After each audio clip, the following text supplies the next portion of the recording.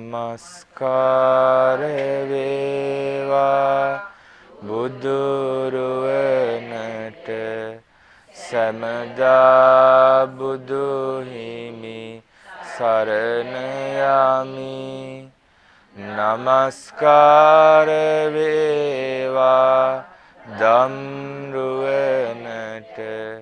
සමදා සදහම් සරණ යමි නමස්කාර වේවා සංගරුවනට සමදා මහා සංඝ සරණ යමි නමස්කාර වේවා තුනුරුවනට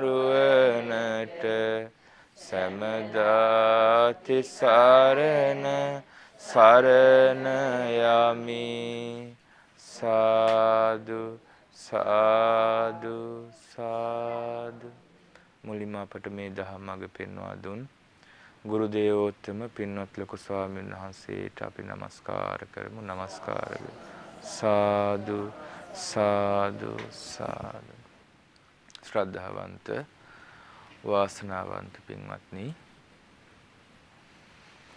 ශ්‍රී බුද්ධ ජයන්තිය 2562 නිමිති කරගෙන ශ්‍රද්ධා රූපවාහිනී පවත්වනු ලබන උතුම් සූත්‍ර දේශනා මාලාවේ පළමු දෙසුමටයි ඔබ සම්බන්ධ වෙන්නේ. අපි එහිදී මේ මාසයේ පුරාවටම වෙසක් පුන් පොහොය දවසින් පස්සේ ලැබෙන මාසයේ පුරාවටම අපි කල්පනා කළා මේ ජීවිතයේ යහපත පිණිස පවතින පරලොව ජීවිතයේ යහපත පිණිස පවතින නිවන පිණිස පවතින කරුණු ඇතුළත් උතුම් දේශනාවක් සම්පූර්ණයෙන් විස්තර කරන්න. එතකොට මේ මාසයේ පුරාවටම ශ්‍රවණය කරන්ට ලැබෙන්නේ එක සූත්‍ර දේශනාවක් මේ උදේවරුවේදී ශ්‍රද්ධා රූප වහිනිය ඔස්සේ. ඒ දේශනාව තමයි අපි හැමෝම දන්න මහා මංගල සූත්‍රය.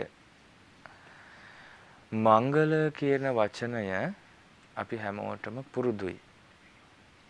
නමුත් ඒකේ අර්ථය ගොඩාක් අය පුරුදු කරනවා පේන්නේ නැහැ. සමහර කරුණු නම් පුරුදු කරනවා. ඉතින් මංගලය මංගල්‍ය කියන වචනෙට හැමෝම ආසයි නේද? හැමෝම ආසයි මංගල්‍ය කියන වචනෙට. දැන් අපි කියනවා මේ ත්‍රිවිධ මංගල්‍ය යෙදෙන බුද්ධ ජයන්තියයි කියලා. භාග්‍යතුන් වහන්සේගේ බුද්ධත්වය ඒ වගේම උපදීම ඒ වගේම ඕ මහා පරිණිර්වාණය කියන දෙව් මිනිසුන්ට පින් රැස් කරගත හැකි මහානීය අවස්ථා තුනට අපි කියනවා ත්‍රිවිධ මංගල්‍යය කියලා. අපේ ජීවිතෙත් තියෙනවා නේද? විශේෂයෙන් ගිහි ජීවිතය ගත කරන අයගේ විවාහ මංගල්‍ය කියනවා නේ. ගෙට ගෙවදීමේ මංගල්‍ය කියනවා. ඉඳුල් කට ගෑමේ මංගල්‍ය කියන ওই විදිහට ගොඩාක් දේවල් තියෙනවා. මිනිස්සු ඒ වෙලාවට හරි ආසයි දෝෂ හැම එකක්ම දුරු කරගෙන ඉතා යහපත්ව ගත කරන්න. දැන් ගත වුණා අවුරුදු සමයනේ. ඒකෙදි ගොඩාක් අය මේ මංගල්‍ය පිණිස විවිධ ක්‍රම પરම්පරාවෙන් ආපු ක්‍රම පුරුදු කළා. කියන්නේ අපිට පේනවා ගොඩක් අය ආසයි ජීවිතේට මංගල්‍ය උදක්. ගොඩක් අය නෙමෙයි හැමෝම හැම කෙනෙක්ම ආසයි. දැන් කිව්වොත් ඕක අසුබයි කියලා තහවුරු කරලා බය හිතෙනවනේ. සුභයි කිව්වොත් පුරුදු කරනවා. ඉතින් මේ මංගල කරුණු ගැන කතාව අද සමාජයේ තියෙනට වැඩිය බුද්ධ කාලේ ඊටා උසස්ව නැගුණා. ඒ කාලේ මිනිස්සු හරි ඒ කියන්නේ මේ ලෞකික දේවල් වලින් සැපයටපත් වෙලා හිටියා. දැන් අපිට හිතෙන්නේ දැන් ඔන්න අපේ යුගයේ ගත්තාම පස්සට පස්සට කල්පනා කරලා බලද්දී අවුරුදු 100 200 ඔන්න මේට වැඩිය සැප සම්පත් අඩුයි. ඔහොම තිබ්බා කියලා අපි හිතනවා. කාලයක් තිබ්බ වැද්දන්ගේ යුගයක් කොහොම කියලා හිතනවනේ. නමුත් ඒ මෑත ඉතිහාසය තුල එවැනි දුප්පත් යුග තිබ්බ වෙන්න පුළුවන්. නමුත් අදට වැඩිය අතිශයින්ම දියුණුවේ බුදුරජාණන් වහන්සේ වැඩ හිටපු යුගය. දැන් විසාකා මහෝපාසිකාව ආරාමයක් හදලා පූජා කරන්නේ නේද? ඒකේ කාමර 500 500 නේද? 1000ක්. එතකොට දෙමහල් ගොඩනැගිල්ලක් කාමර 1000ක් තියෙන. අද එහෙම සංඝාවාසයක් අපිට ලංකාවේ දකින්න නැහෙනේ ලෝකෙත් අපි හිතන්නේ නැහැ කුටි 1000ක් තියෙන දෙමහල් ගොඩනැගිල්ලක් තියෙනවා ඇති කියලා. එතකොට කොතරම් දියුණු තාක්ෂණයක් තිබ්බදනේ. ඒ විසාකාවගේ යාළුවෙක් පාපිස්සක් අරන් ආවා. ලක්ෂයක් අගනා කියලා තියෙන්නේ. ලක්ෂයක් වටින පාපිස්සක් අරන් ආවා දාන්න තැනක් නැලු පූර්වාරාමේ. ඒ තරම් හැමතැනම අඩුවක් නැතුව සරසල්ලා තිබ්බේ. අන්තිමට පාසෝදන තැන වතුර පිහින්න දැම්මා කියනවා. එහෙනම් ඒ කාලේ මිනිස්සු ලෞකිකව දියුණු නැද්ද? දියුණුවයි. ඒ වගේම ඒ කාලේ මිනිස්සු ආධ්‍යාත්මික පෝසත්කමක් හෙව්වා. අද වගේ නෙමෙයි. අද දැන් මේ ආධ්‍යාත්මික දේවල් ගැන කතා කරද්දී ඌව ඔච්චර කතා කරන්න ඕනේ බන පොඩ්ඩක් අහපුවාම මද කියලා කියන අය ඉන්නවා. ඒ කාලේ එහෙම නෙමෙයි. බුදුරජාණන් වහන්සේ පහළ වෙන්න කලින් ඉඳලම මිනිස්සු ඥානය ගවේෂණය කරනවා. සත්‍ය හොයනවා. හැබැයි පැටලෙනවා වැරදි වල. හොයන අයනේ වරදින්නේ නේද? දැන් නිකම්ම ගෙදරට වෙලා කකා බිබී ඉන්න අය දෘෂ්ටි වල පැටලෙන්නේ නැහැ. හේතුව යාළ මොනවා හොයන්නේ හැබැයි හොයන්න යන අය පැටලෙන්න ඉඩ තියෙනවා. දැන් ওই ලංකාවේ මේ දවස්වල පැටලිලා තියෙන්නේ එක එක මත දෘෂ්ටි ඒ ඇයි ඉතින් ඒගොල්ලෝ ඇත්තටම අහිංසකව හොයන්ට ඇති. ඇත්ත මොනවද මේ මීට වැඩිය ඇත්තක් ගැඹුරක් ඇති කියලා. නමුත් පැටලුණා. නේද? සමහරු හොයන් ගිහිල්ලා එක්කෝ බණ භාවනා කරද්දී හරි අමනුස්සෙක් ඇවිල්ලා කියලා හරි මොකක් හරි පෙනිච්ච හීනයක් හරි සමහරු කියනවා මෙහි ලංකාවේ තමයි බුදුරජාණන් සිපදුනේ කියලා. නේද? දැන් අර අලුත් එකක් හොයන්න ගිහිල්ලා හම්බුනේ වැරදි එකක්. ඊට පස්සේ යත් පැටලිලා අනිත් අයත් පැටලිලා ලොකු විනාශයක් කරගන්නවා. නේද? තව සමහරු මේකේ මේ හිතන වගේ එකක් නෙමේ රහත් වෙනවා කියන එක ලේසි එකක් කියලා හිතලා ඔන්න දැන් රහත් කියලා කියන් යන අය ඉන්නවා. නේද? එතකොට ඒක අහන අය හිතනවා ඇත්ත නේනම්. ওই රහත් කියන එක අපිට ගන්න බැරුව. ඔය එහෙම ලොකු එකක් නෙමෙයි යෝග කියලා ආඩම්බරයෙන් හිතුවා. ඔන්න තව පිරිසක් පැටලුණා. නේද? බුද්ධ කාලේ ඒ ඔය දැන් ලංකාවේ ටික දෙනෙක් හොයලා. බුද්ධ කාලෙ හිම නෙමෙයි විවිධ ආගම් තිබ්බ කියනවනේ 62ක් දෘෂ්ටි 62ක් තිබ්බා. එතකොට දැන් ඔන්න අජිත කේසකම්බල පහෝද කච්චායන සංජය බෙල්ලට්පුත්ත කියලා අහලා තියෙනවනේ දහම් පාසල් ඉගෙන ගන්න කාලේ. එතකොට ඒගොල්ලෝ එක එක දෘෂ්ටි සමහරු කියනවා සමහරු කල්පනා කරලා කියනවා ওই පිම්පව් නෑ. ඔබ මනස්ගත. මේ මිනිස්සේ මරුවා මරණවා කියන්නේ සතර මහා ධාතු අතරින් තවත් සතර මහා ධාතු ගියා විතරයි. දැන් කඩුව හැදිලා තියෙන්නේ මොන වගේද? සතර මහා ධාතු වලින්. බෙල්ල හැදිලා තියෙන්නේ සතර මහා ඔය ධාතු අතරින් ධාතු ගියා විතරයි. ඕකේ ඇති පවක් නැහැ. කියද්දි සමහර මිනිස්සු කල්පනා කරනවා. ඇත්ත නේනම් මේකේ මොකද්ද තියෙන කර්මය කියලා ඒකට පිළිගන්නව කොටස. තව සමහරු කියනවා 84000ක් ජීවත් වෙන්න වෙනවා. අවුරුදු 84000ක් ජීවත් වුණාට පස්සේ තමයි මේ දුක ගෙවිලා යන්නේ. ඒක පිළිගන්නවා. ඉතින් 84000ක් කවුරුත් ඉන්නේ නැහනේ. ඉතින් පිළිගරේ මැරිලා යනවා. නේද? ඒ සමහරු කියනවා ගංගා නම් නදී මේ කෙරවලේ ඉඳලා එහා කෙරවලට දන් දීගෙන ගියත් මරාගෙන මරාගෙන ගියත් ඇති පිනකුත් නැහැ ඇති පවකුත් නැහැ කියන. ඉතින් මිනිස්සු සමහරව අහු වෙනවා. නේද? ඒතකොට ඒ කාලේ ගොඩක් මේ ඇඳුම් පැළඳුම් කෑම බීම සැප සම්පත් ගැන කතා කරනවට වැඩිය මිනිස්සු මේ නොපෙනෙන ලෝකෝත්තර දියුණුවක් ගැන සහ මේ මේ ලෝකේ ඇත්ත මොකද්ද කියලා විවිධ මතවාද පළ කරා. හැබැයි වැරදුනා ගොඩක් අයට. ඔය මංගල කරුණු කතාවත් එහෙමයි. ජීවිතේට සුබ වෙන්නේ මොකද්ද? යහපත් වෙන්නේ මොකද්ද කියලා කතා වෙනකොට ඒ කාලේ තිබ්බ රැස්වීම් ශාලා හැම ගමකම වගේ තියෙනවා සන්තාගාර කියලා කියන්නේ ඒවට. එකතු වෙන දැන් ওই ප්‍රජාශාලා තියලා තියෙන්නේ අපේ රටේ. ඒ කාලේ තිබ්බ රැස්වීම් ශාලා. ඕවට එකතු වෙලා මිනිස්සු හවසට වැඩ කටයුතු ඉවර වෙලා එකතු වෙනවා. උගත් බුද්ධිමත් අය ඕන කෙනෙකුට එන්න පුළුවන්. ආපුවාම ඔන්න ඉතින් එතන ඉන්න ප්‍රධානියෙක් මාතෘකාවක් දානවා. අපි කතා කරමු අද මේක ගැන ලෝකය ගැන ඔන්න ලෝකය ගැන එක එක්කෙනා කියනවා අපේ පොත්වල මෙහෙම තියෙනවා අපේ පොත්වල මට නම් හිතෙන්නේ මෙහෙමයි කියලා කතා කරනවා. ඔය වගේ එක දවසක් ඔය එක මාතෘකාවක් මාස 4ක් කතා කරනවා. ඒ කාලේ මිනිස්සුන්ගේ මේ අලුතෙන් සොයනවා ඇත්තටම මාස 4ක්. මේ මංගල කරුණු කියන මාතෘකාව ආවා. මංගල කරුණු ගැනත් මාස 4ක් කතා වුණා. සමහරු කියනවා මම නම් කියන්නේ උදේට ඇහැරිච්චාම මුලින්ම දකින්න දේ අනුව තමයි සුභාසුභ තීරණය වෙන්නේ කියලා කෙලසක් කිව්වා දිට්ඨ මංගල.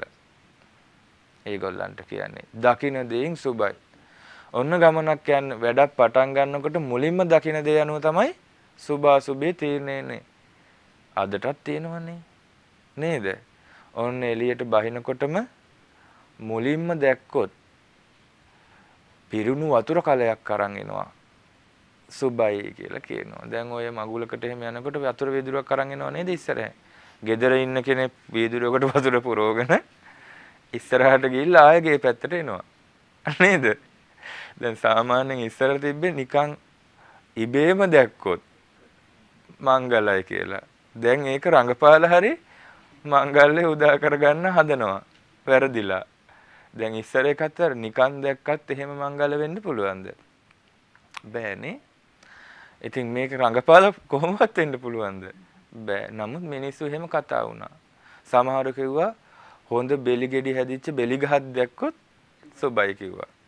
සමහරු කිව්වා හොඳ අස්සයෝ ඉන්නවා. අස්සය දැක්කොත් සුබයි කිව්වා. සමහරු කිව්වා කිඹුලා දැක්කොත් උදේම සුබයි කිව්වා. ඒ කිඹුල්ලු නිතර ගොඩට එන්නේ නැහනේ. අර දුර්ලභ ඒවා ඔය කියන්නේ. ඔව් දුර්ලභ ඒවා කිඹුලෙක් දැක්කොත් සුබයි කිව්වා. මේ විදිහේ එක එක කරුණු සුබයි සුබයි කියලා මිනිස්සු කතා වුණා. සමහරු කියනවා ගැබිනි මවක් දැක්කොත් සුබයි කිව්වා. ගැබිනි මවක් දැක්කොත් සුබයි කරන හිතුවක් කමන්නේ කිව්ව හැකි නේද? ඔව්. සුබයි කියලා කිව්වා. ඊළඟට කිව්වා ඒ කාලේ ඉන්නවා දැන් ඔය ගිරව් සැලලින වගේ කතා කරන කුරුල්ලෝ જાති. අන්නේ කතා කරන්න පුළුවන් කුරුල්ලෙක් දැක්කොත් පක්ෂියෙක් සුබයි. කියලා ඒ කාලේ මිනිස්සු කිව්වා. ඊට පස්සේ තියෙන පුන් කලසක් දැක්කොත් පිරුණු කලයක් දැක්කොත් සුබයි කිව්වා. ඊළඟට ඒ කාලේ ඉන්නවා රේ මස්සයෝ කියලා ಜಾති මාළු జాතියක්. රෝහිත මස්සයෝ කියලාත් කියනවා සමහරු. අන්නේ රේ මස්සෙක් දැක්කොත් සුබයි කියලා විවිධ විදිහේ මත පළ කරා. ඊට පස්සේ දුඹුරු පාට ගවයෙක් දැක්කොත් සුබයි. ඕවා තවත් තියෙනවා Hindu ආගමේ අදටත් තියෙනවා. දැන් ওই ලංකාවේ දැන් ඔය වෙස් තියෙනව නේද? ඔය වෙස් නටන්නේ උඩරට. එතකොට ඒ වෙස් නටුන් නටද්දි මුලින්ම ළමයාට නැකත් බලලා වෙස් තිබ්බට පස්සේ ඔළුව වහනවා සුදු රෙද්දකින්.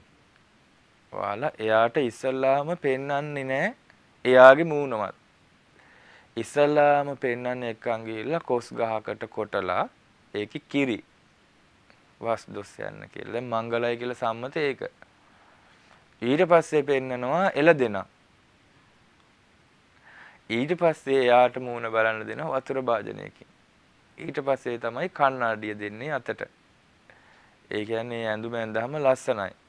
එතකොට මේ ඇස්වහ කටවහ වදී කියලා දැන් මංගලයි කියලා අර මොකද කොස් ගහක කිරි දැක්කහම නේද?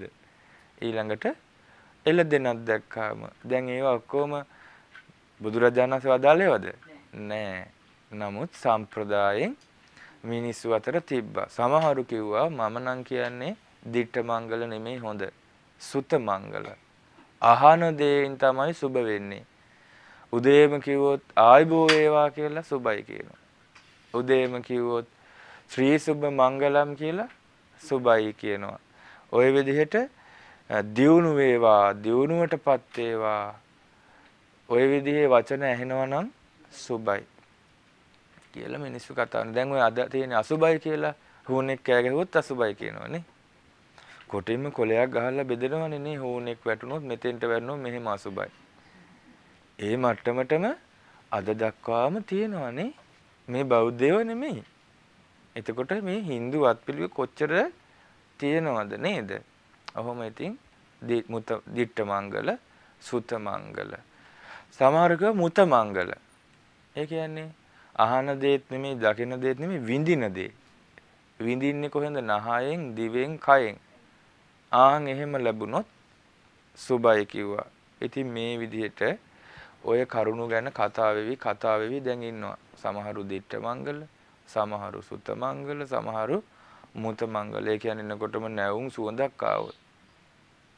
අන්න සුබයි කියනවා. නේද? ඊට පස්සේ ඕ බිම පොළවේ ඕ නිල් තන ඇවිල්ලා ඒ තනකොළ අත ගාලා ගිය සුබයි කියලා මිනිස්සු දේම බිම අත ගාලා යනවා. ඉතින් එක එක විදිහේ පුරුදු.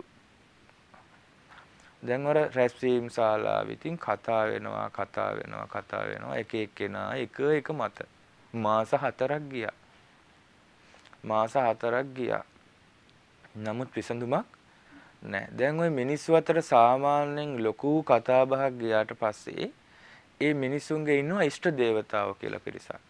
ඔය කියන්නේ ඥාති දෙවිවරු ගොඩක් වෙලාවට. ඥාති ඥාතීන් ඉඳලා මරණයටපත් වෙලා පුංචි පුංචි දෙවිවරු වෙලා ඔය ගෙවල් ළඟම ඉන්නවා.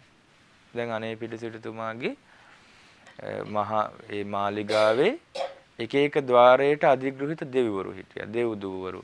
චත්‍රේ රජුරුවන්ගේ චත්‍රයට අධිග්‍රහිත දෙවියෙක් ඉන්නවා. ඔය විදිහේ විස්තර තියෙනව නේද? ඒ විදිහේ ගෙවල් වල ඒ ගෙදර ළඟ තියෙන වෘක්ෂයට එක්ක නැත්තම් මාලිගාවක් නම් ලස්සන ගෙයක් නම් ඒ ගෙදරට එහෙම පුංචි පුංචි දෙවරු අරක් ගන්නවා. ඊට පස්සේ නිතර පින් සිහිපත් කරන අය ඉන්නවනේ මිනිස්සු. මිනිස්සු නිතර සිහිපත් කරලා පින් දෙනවා දෙවරුන්ට. ආන්නේ දෙවරුන්ට කියනවා ඉෂ්ට දේවතාවරු. ඒ ඉෂ්ට දේවතාවරුන්ට මේ ලෝකේ යම් ආරංචියක් යනවා නම් වැඩිපුර ඒක යනවා. මනුස්ස ලෝකේ අසුරු කරන් ඉන්නේ. ඒ අයගෙන් භූමි වාසී දෙවිවරු බුම්මානන් දේවානන් කියලා තියෙන ධම්සප් පැවතුම් සූත්‍ර. අන්න පොළොව වාසී දෙවිවරු වෘක්ෂ පර්වත ආදියට අධිග්‍රහිත අනිත් දෙවිවරුන්ට ඒ ආරංචිය ගියා. මෙන්න මනුස්ස ලෝකේ මංගල කරුණු ගැන දෙවරුත් එකතු වෙලා කතා කරන හැබැයිට මොකද්ද මංගල කරුණු කියලා විසඳ ගන්න බෑ. ඊට පස්සේ චාතුම් මහරජකයට ගියා.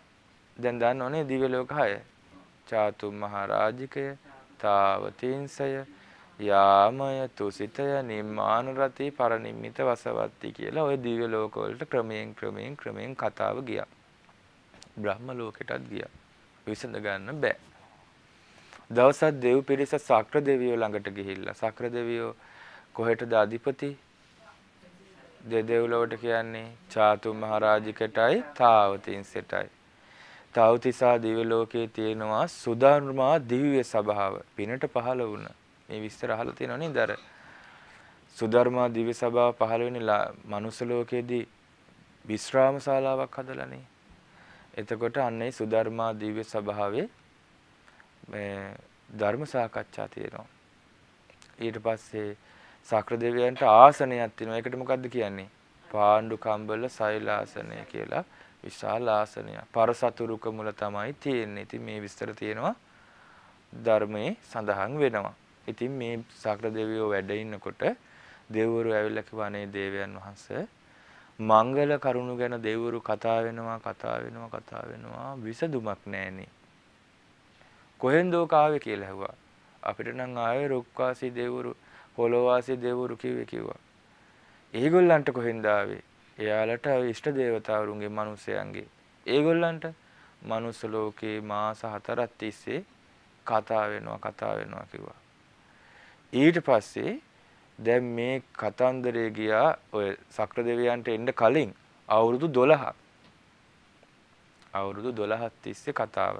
දැන් මනුස්ස ලෝකේ මාස 4ක් තිස්සේ කතා කරාට පස්සේ දිව්‍ය ලෝකෙට ගියා දිව්‍ය ලෝකේ හැමතැනම අවුරුදු 12ක් තිස්සේ හැමෝම කතා වෙනවා හරි උත්තරේ හම්බෙන්නේ හරි උත්තරේ දෙන්න දන්නේ ඊට පස්සේ සක්‍ර දෙවියෝ කිව්වා දැන් මගෙන් අහන්නේ ඔකට උත්තරේ හරියට හිරු මඩල තියෙනකොට කණාමැදිරිය ලියෙන් අහනවා වගේනේ අර භාග්‍යතුන් වහන්සේ වැඩ ඉන්නේ ජේතවනාරාමේ කිව්වා. ජේතවනාරාමේ භාග්‍යතුන් වහන්සේ වැඩ ඉන්නවනේ. දැන් තැන් තැන් වල කතා වුණා මේක ලොකු ප්‍රශ්නයක් හැටියට දැනුනේ නැහැ. නමුත් දැන් විසඳුමක් නැතිකොට සක්‍ර දෙවියෝ කිව්වා භාග්‍යතුන් වහන්සේගෙන් අහන්න. එතන හිටපු මේ මුල් වෙච්ච දිව්‍ය පුත්‍රයා මධ්‍යම රාත්‍රියේ ජේතවනාරාමේ බබළුවාගෙන ඕ සවැත් නුවර ගාන්ධ කුටිය ළඟට ආවා. දැන් ඒකනේ අපි කියන්නේ ඒවං මේ සුතං ඒකං සමයං භගවා සාවත්‍යං විහෙරති 제තවන්නේ අනාථ පින්ඩිකස්සාර. පුංචි කාලේ ඉඳලා අපි කියනවා නේද? භාග්‍යතුන් වහන්සේ දේවරම් වෙරේ වැඩ ඉන්නවා. අතකෝ අඤ්‍යතරා දේවතා එකල්ලි එක්තරා දෙවියේ අභික්ඛන්තාය රත්ත්‍ය රාත්‍රිය ගෙවිලා ගියාට පස්සේ අභික්ඛන්ත වන්නා මහා ලස්සනට බබලවගෙන ලස්සන ශරීරයකින් යුක්තව කේවල කප්පං 제තවනං ඕභාසෙත්වා. මුළු මනින්ම 제තවනය ආලෝකමත් කරගෙන යේන භගවා යම් තැනකද භාග්‍යතුන් වහන්සේ වැඩ සිටියේ තේන උපසංකමි. තේන උපසංකමි තෙන්ට පැමිණියා. උපසංකමිත්වා භගවන්තං අභිවාදෙත්වා. පැමිණ භාග්‍යතුන් වහන්සේට වන්දනා කළා. දැන් බලන්න දෙවරුත් වන්දනා කළේ බුදුරජාණන් වහන්සේට.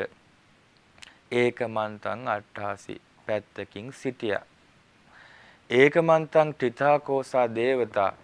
එකත් පස්සව හිටපු දෙවියා භගවන්තං ගාථාය අජ්ජබාසි භාග්‍යතුන් වහන්සේට ගාථාවක් කිව්වා එකත් පසක හිටපු දෙවියා භාග්‍යතුන් වහන්සේට ගාථාවක් කිව්වා. ඒ පරණ ක්‍රමයක්.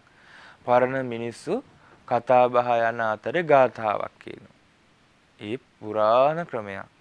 දැන් ලංකාවේ තිබ්බා. මිනිස්සු කතා කරන ගම ප්‍රශ්නයක් අහන්න ඕන වෙනවා කවියෙන් අහනවා.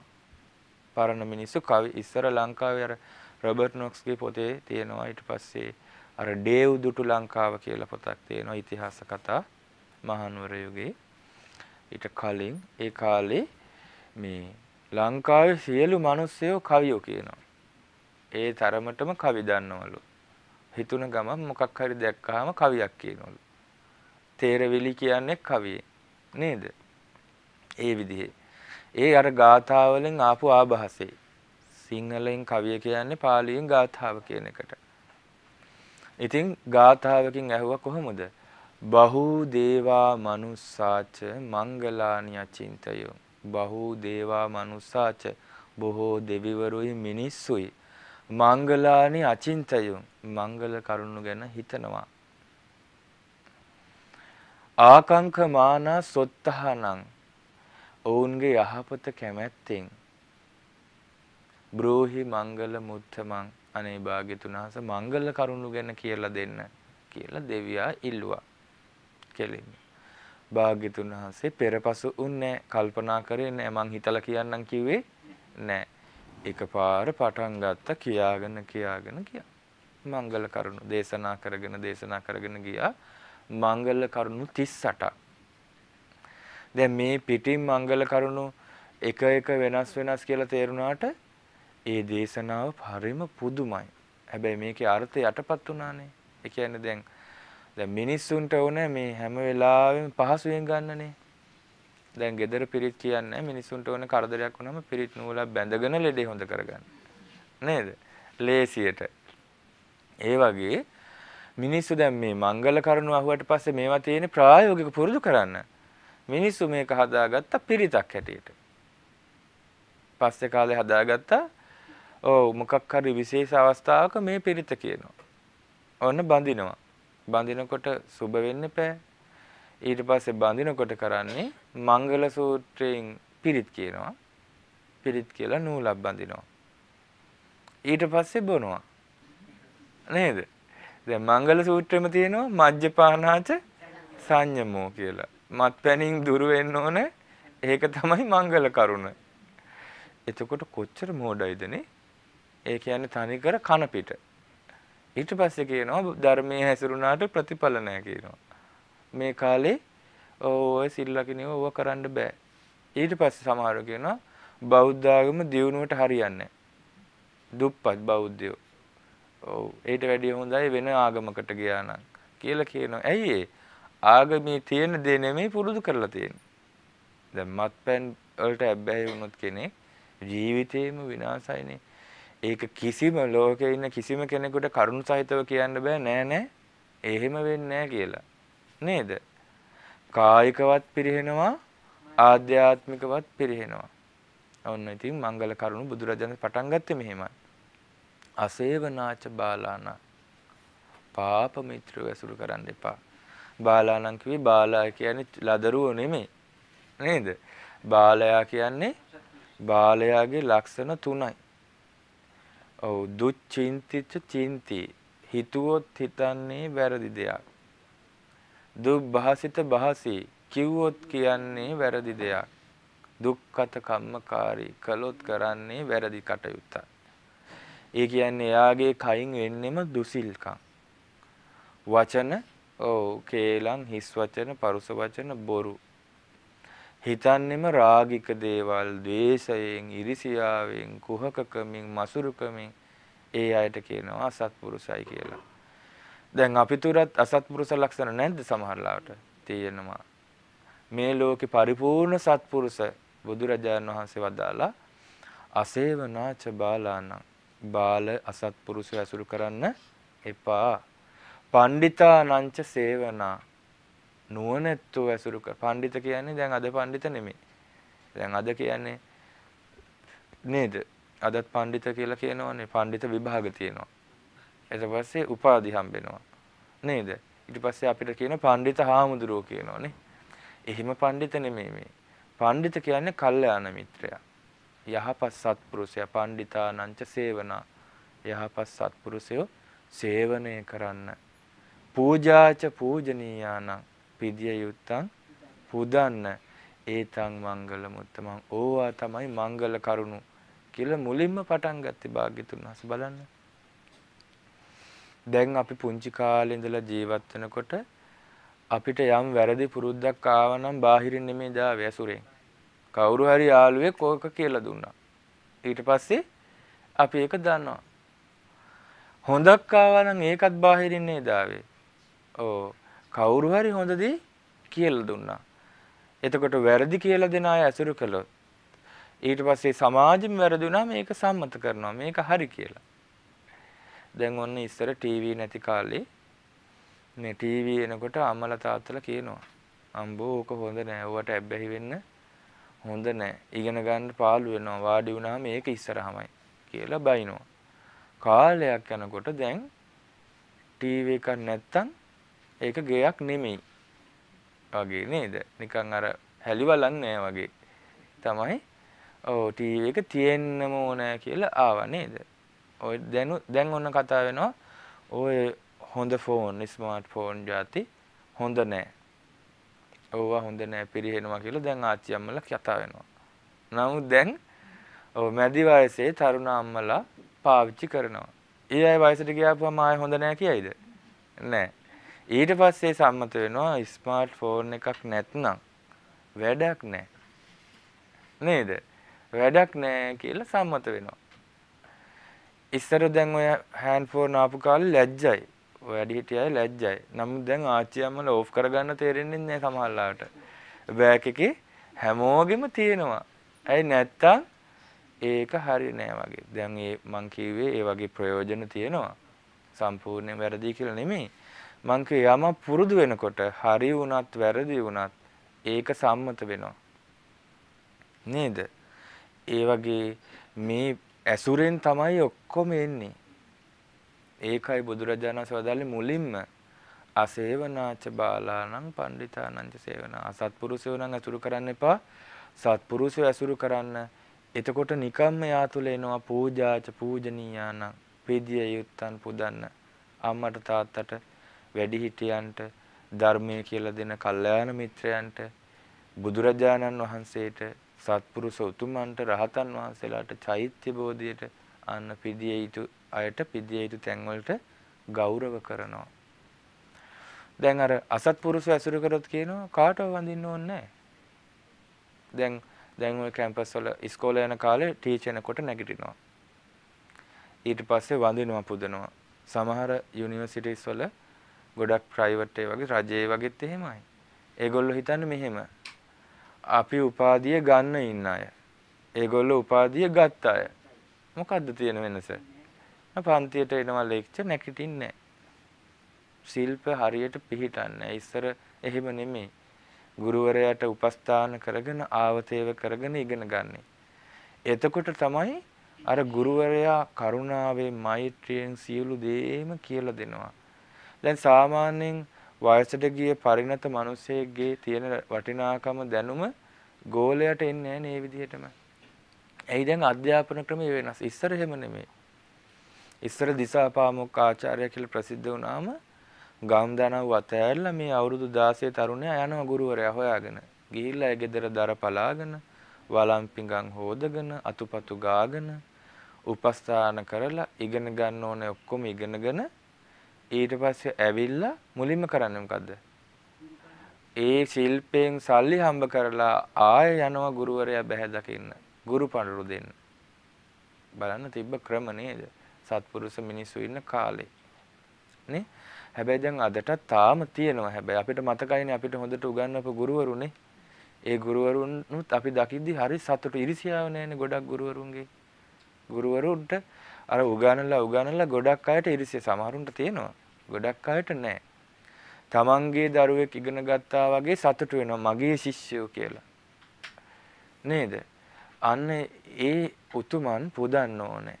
පිදිය යුතු උතුමන් මංගල කරුණු දැන් ඔන්න තුනයි. ඊට පස්සේ භාග්‍යතුන් වහන්සේ වදාළ පතිරූප දේශ වාසෝච සුදුසු ප්‍රදේශයක ඉන්න ඕනේ. නොසුදුසු ප්‍රදේශයක හිටියොත් දැන් මේ එකට එකක් සම්බන්ධයි. දැන් ඔන්න මම නම් සත්පුරුෂය ඇසුරු කරනවා අසත්පුරුෂය ඇසුරු කරන්නේ පුදිය යුත්තන් පොදුන හැබැයි මම සුදුසු ප්‍රදේශයක වාසය මට හම්බෙලා නැහැ කියලා වෙන්නේ නැහැ සාමාන්‍යයෙන්. එයාගේ පරිසරය සුදුසු වෙනවා හොඳට. එයාගේ පවුල හොඳ වෙනවා කලාතුරකින් ඔව් ඒ ඇසුර ටිකක් අමාරු වෙන්න පුළුවන් නමුත් කාලයත් එක්ක හදා ගන්නවා. දැන් ඔන්න විසාකා නේද? විසාකා බැඳලා ගියා මිත්‍යා දෘෂ්ටික පවුලකට. නමුත් ඒ පවුලම අන්තිමට සම්මාදිට්ඨික වුණා. පරිසරය හැදෙනවා. පතිරූපදේශ වාසෝච සුදුසු ප්‍රදේශයක වාසය කිරීම මංගල කරුණා. දැන් දිට්ඨ මංගල සුත මංගල නෙමෙයි මේ. නේද? ඊළඟට පතිරූපදේශ වාසෝච පුබ්බේච කත පුඤ්ඤතා. පෙරකල පිං තියෙන්න ඕනේ. දැන් කොච්චර මහන්සි වුණත් සමහරුන්ට දියුණු වෙන්න බෑ. හේතුව පින් පුණ්‍ය ශක්තිය මදි. එතකොට පෙරකල පින් තිබීම දැන් වන් පුරුදු කරන්නේ කොහොමද? පෙරකල පින් තිබීමනේ. එහෙනම් දැන් පින් කරන්න ඕනේ. නේද? දැන් පින් කරටුවා කළාට පස්සේ ඕ ඊට පස්සේ අපි පහු වෙනකොට දැන් මේක අතීතයට යනවනේ. එතකොට පෙරකල පින් තියෙනවා අපිට. දැන් අද පිනක් කරපුවාම හෙට මේක පෙරකල පිනක්. නේද? ඒ පුණ්‍ය ශක්තියෙන් හිත සංසිඳෙනවා, යහපත උදා වෙනවා. උබ්බේච කත පුඤ්ඤතා අත්ත සම්මා පනිදිච ඕ ආත්මය නිවැරදිව පිහිටව ගන්නවා. තමාව නිවැරදිව පිහිටව ගන්නවා. තමා යහමඟ යාම. මංගල කාරණාවක් ඔන්න මංගල කරුණු 6යි බාහු සච්ඡංච සිප්පංච. බහුශෘත බව. ගොඩාක් දේවල් ඉගෙනගෙන තියෙනවා නම් ඒක හරි වටිනවනේ ජීවිතේටනේ දැන් අපි අපි හිතමු ගෙදරක තාත්තා කෙනෙක් ඉන්නවා. එයා දන්නේ වයර් එකක් අමුණ ගන්න. බල්බ් එකක් දාගන්න. වතුර බටයක් කැඩිච්චාම හදා ගන්න. හැම එකටම කෝල් කරලා මිනිස්සෙක් ගෙනලා සල්ලි දෙන්න ඕනනේ. වාහනේ කැඩුනා. ඔව් දන්නේ නැහැ පොඩ්ඩක් බලන්න. රෝදයක් ගියොත් මාරු කරගන්න දන්නේ ඉතින් ඔව් හොඳ පාරායනේ හිටගෙන ඉතින් කවුරු හරි එන්නකම් කෝල් කර කර ඉන්න ඕන බැන බැන. එන්නේ නැහැ මේ ඉන්ෂුරන්ස් වලින් කියලා ඉන්නවා. ඇයි බහුශෘත බව ඊට පස්සේ බාහු සත්‍යංච සිප්පංච ශිල්පීය ඥානය. ඒ දෙකම තියෙන්න ඕන නේද? නැත්නම් ජීවිතේට ඒ බාධක එනවා ගොඩක්. දැන් ආයතනක ඉන්නවා ප්‍රධාන කෙනෙක්. එයාට දැනුත් දැනුවත් බව අඩුයි නම් එතකොට එයා අනිත් කෙනා කියන එක හැම වෙලාවෙම අහන්න වෙනවා. හැබැයි සම්පූර්ණ නැතත් යම් පමණකින් හරි හැම දෙයක් ගැනම එයාට දන්නවනම් එයාව රවට්ටන්න බෑ. එතකොට පිරෙන්නේ එතකොට මුදල් නාස්ති වෙන්නේ ආර්ථිකය හානි වෙන්නේ බාහු සච්ඡංච සිප්පංච හැබැයි තව එකක් තියෙනවා. විනයෝච සුසික්ඛිතෝ. විනයකින් යුතු මනා හික්මීමක් තියෙන්න ඕනේ. ওই බහුශෘත භවයේ ශිල්පීය දැන් ඔන්න බහුශෘත භව බොහෝ දැන උගත් බව තියෙනවා. කාටද? ඔව් ඔන්න දැන් හදනවා කොහෙද උතුරු කොරියාවේ. මොනවද හදන්නේ? නියස්ට්‍රිකල් ආවිය අත්හදා බලනවනේ නේද? ඉතින් බොහෝ දැන උගත් බව තියෙනවා. හැබැයි විනයකින් යුතු බව තියෙනවද? නෑ. දැන් බටහිර ගොඩක් රටවල් දැන් ඔය ලෝක බලවතුන් කියන රටවල් තියෙනවා. ඒගොල්ලොත් අවියාවද පරීක්ෂා කර කර න්‍යාස්ටිකාවේ හැම එකක්ම හොරෙන් හොරෙන් හදලා තියන් ඉන්නවා. දැන් සමහර ඒ රටවල් වල තියෙනවා විශාල නැව් මුහුදේ දාලා මේ 400 500 එක නැවේ ඉන්නේ සෙබළොත් එක්ක නිකන් ප්‍රදර්ශනයට තියලා තියෙන්නේ. අපේ රට මෙහෙම බලවත් අපිට ගහන්න බෑ කියලා බය කරන්න තියලා තියෙනවා. සාමාන්‍යයෙන් රටකට ආරක්ෂිත පද්ධතියක් ඕනේ. නමුත් මිනිස්සු සමහර විනාශ කරන රසායනික අවි හදනවා මිනිස්සු. එතකොට ඒක බහුශෘත බව ශිල්පීය ඥානෙ තියෙනවා. නමුත් විනයකින් යුතු හික්මීමක් තියනවද? නෑ. බලන්න බුදුරජාණන් එක ටික ගලපන හැටි. අන තව මංගල කරුණු තුනයි. සුභාසිතාච යා වාචා. ඔව්. සුභාසිත යම් වචනයක් සුභාසිතද ඒක කියන කෙනෙක් වෙන්න ඕනේ. අන්න මංගල කරුණා. මේ විදිහේ මංගල කරුණු එකින් එක එකින් එක දැන් මංගල කරුණු 9යි. ඊට පස්සේ 10යි සුභාසිතාච යා වාචා ඒතම් මංගල මුත්තම. මාතා පිතු උපට්ඨාන. අම්මට සලකන්න ඕනේ තාත්තට සලකන්න තියෙන මංගල කරුණු දෙකයි. දැන් බලන්න බුදුරජාණන් වහන්සේ කොයිතරම් දුරට හිතලා තියෙනවද මේ ප්‍රායෝගික දැන් යම් දරුවෙක් ඉන්නවා එයා හොඳට දියුණු වෙලා ඉන්නවා. නමුත් අම්මා තාත්තා ගැන බලන්නේ නැතිනම් එයාගේ හිත ඇතුලෙන් චෝදනාවක් තියෙනවා. සහ එයාගේ සත්පුරුෂ බවක් නැහැ. අර කෙලෙහි ගුණේ සමහර දරුවෝ ඉන්නවා අම්මලා සමහරට වැඩි උදව් කරලත් නැහැ දිනු වෙන්න. ඒත් අම්මලා ගැන හොයලා බලනවා. නේද? සත්පුරුෂ ගතිය. අම්මට සැලකීම තාත්තට සැලකීම. ඊට පස්සේ දැන් මෙහෙම කියද්දි තමන්ගේ අම්මා තාත්තා ගැනයි බලන්න ඕනේ දරුවෝ ගැන නෙමෙයි. දැන් අම්මට තාත්තට සැලකීම කියලා හිතෙද්දි වයසක අම්මලාට කවුරු ගැනද හිතෙන්නේ? දරුවෝ කෝ අපිට සලකනවා මු කියලා හිතෙනවා නේද? නමුත් හිතන්න ඕනේ කොහොමද? අපේ අම්මට තාත්තට අපි සැලකුවාද බැරි වුණා නම් දැන් ඒගොල්ලෝ නැහැනේ සමහරු. බැරි වුණා නම් මොකද කරන්න ඕනේ? පින් දෙන්න ඕනේ. හිත හිත පින් අනුමෝදන් කරන්න ඕනේ. පසුතැවෙන්නේ නැතුව. මාතා පිතු පට්ටාන පුත්ත දාරස සංඝහෝ දරුවන්ට දාර කියන්නේ බිරින්දයට. අඹු දරුවන්ට සලකන්න ඕනේ. එතකොට බිරිඳ නම් ස්වාමියාට සලකන්න ඕනේ. මංගල කරුණු. නේද? දැන් බුදුරජාණන් වහන්සේ ගිහි ජීවිතය අතහැරලා වැඩි. බිරිඳයි දරුවයි ඔව් දාලා වැඩි. නමුත් ඒ වැඩි ලාමක එකකටද? නෑ. මුළු ලෝක සත්‍යයම එතර කරවන්න නැත්තම් පවුල විතරයි එතර කරවන්න වෙන්නේ. මුළු ලෝක සත්වයාම එතර කරවන්න. නමුත් භාග්‍යතුන් වහන්සේ සම්බුද්ධත්වයට පත් වුණාට පස්සේ ඔව් මාතෘ දිව්‍ය රාජ්‍යයට බණ කිව්වා. මගඵල අවබෝධ කළා. පියාණන් රහත් රහත් වුණා සුද්ධෝදන රජතුමා. ඊට පස්සේ මහා ප්‍රජාපති ගෝතමිය පැවිදි වුණා රහත් වුණා. බිරිඳ යසෝදරාවන් පැවිදි වුණා රහත් වුණා. පුත්‍ර රත්නය රාහුල කුමාරයා පැවිදි වුණා රහත් වුණා. ඒගොල්ලෝ සසර දුකින් දැන් ඊට පස්සේ සහෝදරයා නන්ද කුමාරයා පැවිදි වුණා රහත් වුණා. නන්දා තෙරණිය පැවිදි වුණා රහත් වුණා. බලන්න නේද? මේ විදිහට ඔක්කොමලා සසරින් ඈතර වුණා. නේ? එතකොට ලෝක සත්‍යයත් ලක්ෂ ලක්ෂ කෝටි ගණනින් සත්‍යෝ සසරින් ඈතර වුණා. මිනිස්සු විතරක් නෙමෙයි දෙවිවරු පවා. අන්න බුදුරජාණන් වහන්සේ එහෙම බුදුරජාණන් වහන්සේ මේ ඔක්කොම අතහැරලා ගියා. නමුත් කියනවා ගිහි ජීවිතය ගත කරන අයට මව්ට සලකන්න ඕනේ, පියාට සලකන්න ඕනේ, මංගල කරුණු. බිරිඳට සලකන්න ඕනේ, දරුවන්ට සලකන්න ඕනේ, මංගල කරුණු. අනාකුලාච කම්මන්තා තමන්ගේ රැකියාව නිවැරදිව කරන්න ඕනේ. කර්මාන්තය නිවැරදිව කරන්න ඕනේ. මිත්‍යා ආජීවයෙන් මුදල් හම්බ කරන්න හොඳ නැහැ. ඒතං මංගල මුත්තම. දැන් මංගල කරුණු 14යි. ඊට පස්සේ දානංච දන් දෙන්න ඕන. සමහරු දන් දෙනවා අම්මට තාත්තට සලකන්නේ එතකොට ඒක සත්පුරුෂ ගතියක් නෙමෙයි. දානංච දන් දෙන්න ඕනේ. ධම්මචර්යාච ධර්මයේ හැසිරෙන්න ඕනේ. ඥාතකානංච සංඝහෝ. ඕ දරුවන්ට බිරිඳට විතරක් නෙමෙයි. නෑයන්ට සංග්‍රහ කරන්න ඕනේ. සමහරු ඉන්නවලු නෑගෙවල් වලට ගියාපම හොඳට කාලා බීලා එනවා. තමන්ගේ ගෙදරට ආවොම සලකන්නේ නෑ. පිරිහෙනවා කියන පරභව සූත්‍රයේ තියෙන පිරිහෙනවා. එහෙම නෙමෙයි. දන් දෙන්න ඕනේ, ධර්මයේ හැසිරෙන්න ඕනේ, නෑයන්ට සලකන්න ඕනේ. අනවජ්ජානි කම්මානි නිවැරදි ක්‍රියා නිවැරදි ක්‍රියාවන් සිද්ධ කරන්න වැරදි නැති ක්‍රියාවන් කායික ඇවතුම් පැවතුම් නිවැරදි කරගන්න ඕනේ. කරුණු 18යි.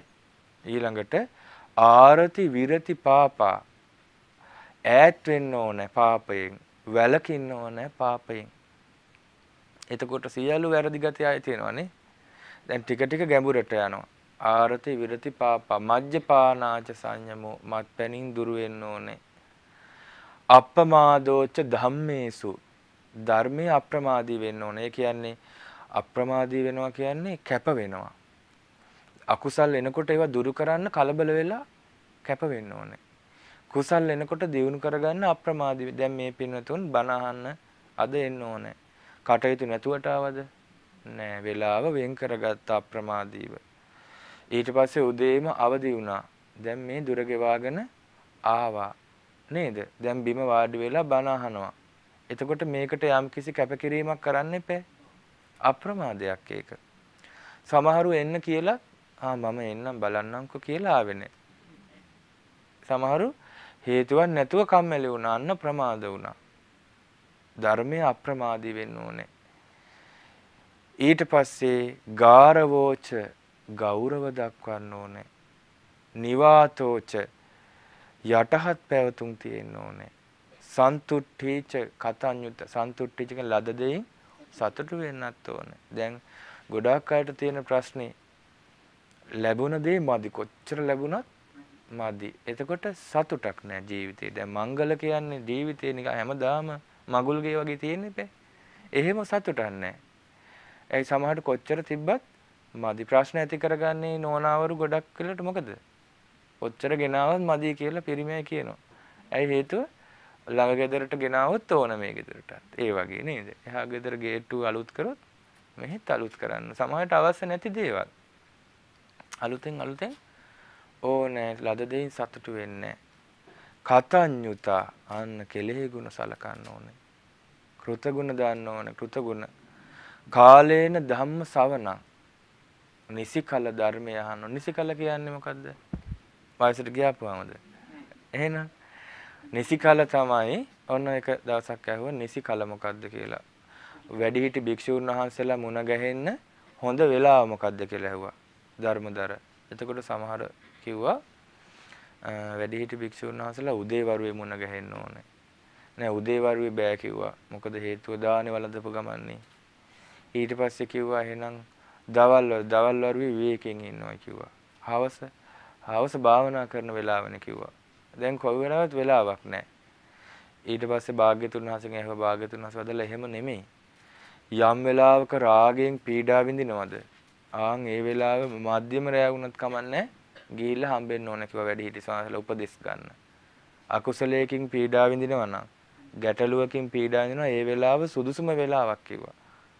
දැන් අපි හිතන්නේ ගොඩක් වෙලාවට බණ අහන්න ඕනේ මේ මොනවා වැඩ නැති වෙලාවට කියලා. එහෙම නෙමෙයි. සමාන්ට කරදරයක් ආපු වෙලාවට, ප්‍රශ්නයක් ආපු වෙලාවට, ඊට පස්සේ හිතට අකුසල් ආපු වෙලාවට ඉක්මනින් ධර්මය අහන්න ඕනේ. ඊට පස්සේ හිත සංසිඳව ගන්න විවේකී වෙලාවටත් ධර්මය අහන්න ඕනේ.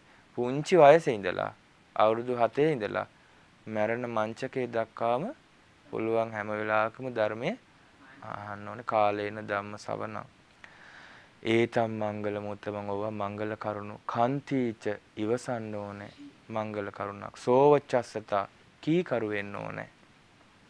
සමනානංච දසන. ශ්‍රමණයන් වහන්සේලා බැහැ දකින්න ඕනේ.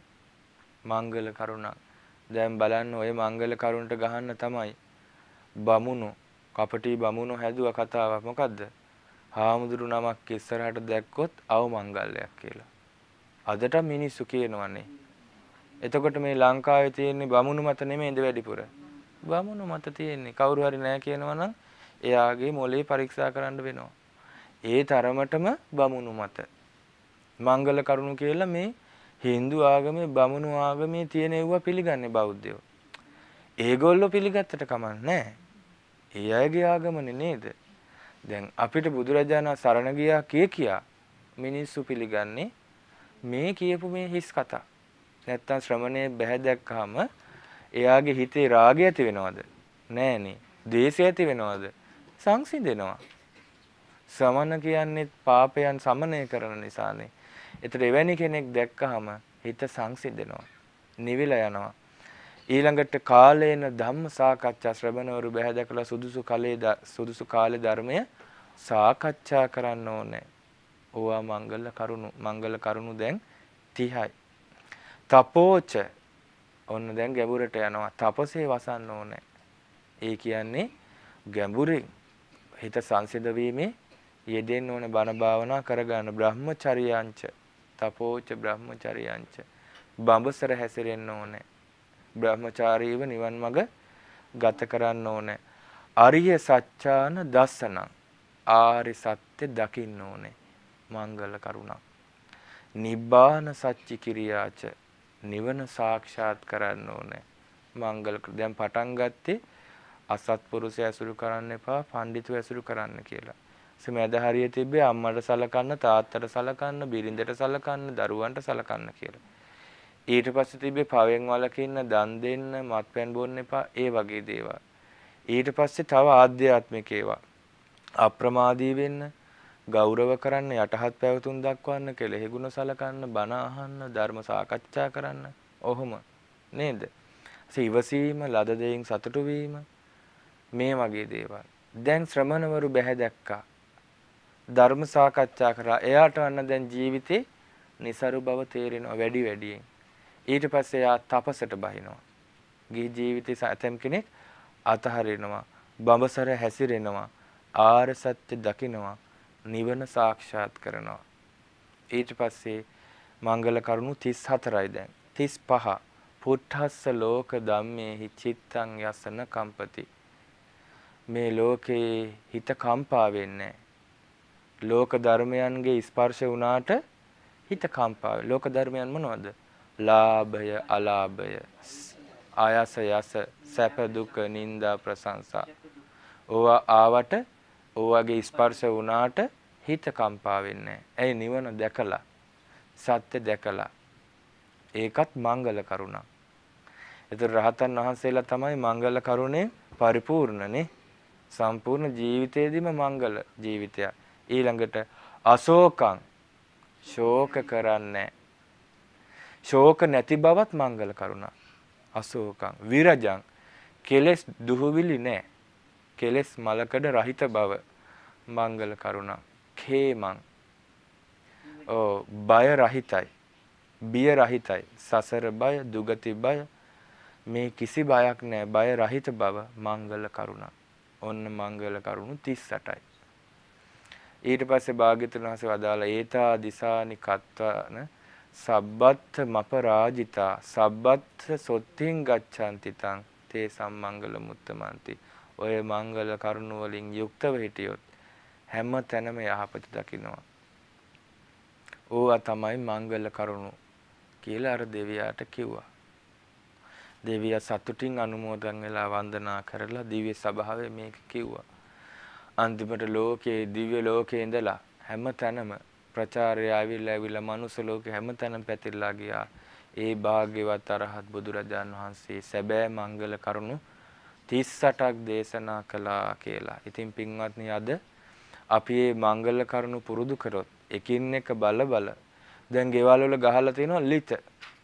මංගල කරුණු ගහලා නැහැ. ඉතින් ඒ නිසා මේ පාර මහා මේඝ පුවත්පතේ ලිතක් ගැහුවා අපි. ඒකේ තියෙනවා. මොකද්ද? ඔයකේ තියෙනවා අපල කාලය. අපල කාලය තමයි පාප මිත්‍ර ඇසුර. ඔව් මත්පැන් පානය. මරු සිටින දිශාව තියෙනවා. මරු සිටින දිශාව මොකද්ද? සුරාව, සූදුව, ඒවත් ඒවනේ ධර්මයේනේ. දැන් භාග්‍යතුන් වහන්සේ වදාලා සුනක්කත්තං සුමංගලං සුප්පභාතං සුවුට්ඨිතං සුකනෝ සුමුහුත්තෝච සුයිට්ටම් බ්‍රහ්මචාරිසු. සුනක්කත්තං කියන්නේ සුබ නැකත.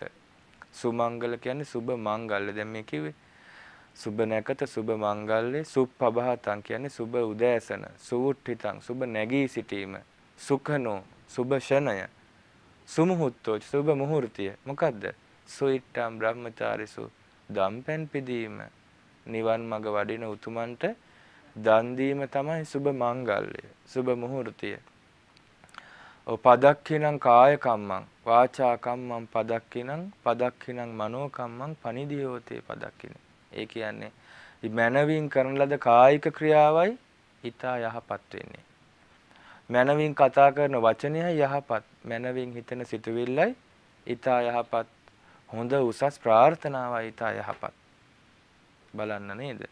එතකොට යම් වෙලාවක කය වචනය හිත මුල් කරගෙන යහපත් දෙයක් කරයි නම් ඒ මොහොත තමයි සුබ මොහොත. මංගල මොහොත. ඒ නිසා ජීවිතේ විවාහයකදී වේවා ගෙට ගෙවදීමකදී වේවා විභාගයකදී වේවා උපන්දිනයකදී වේවා මංගල මොහොතක් පිටින් බලලා කේන්දරයක් බලලා හොයන්න බෑ ඒ වෙලාවේ හොඳට තෙරුවන් වැඳලා සිල් අරගෙන බුද්ධ පූජා පූජා කරලා බොහොම කරුණා මෛත්‍රියෙන් එන අයට සංග්‍රහ කරලා සීනාමුසුමුණින් කතා කරනකොට නිකම්ම මංගල කරුණු එකතු වෙනවා. දැන් සංග්‍රහය කියද්දි දානය, ප්‍රිය වචනේ, සමානාත්මතාව, අර්ථචර්යාව. ඔය ඔක්කොගෙම සංග්‍රහ කරන්න ඕනේ. ඒකතු වෙනකොට තමයි ඒකට කියන්නේ මංගල කරුණු, සුබ මංගල මොහොත කියලා. ඒ නිසා මේ මංගල කරුණු ගැන විග්‍රහ වෙන ධර්ම දේශනා මාලාවේ අද අපි හැඳින්වීමේ දේශනාව කළේ සම්පූර්ණ සූත්‍ර දේශනාවේ සාරාංශය.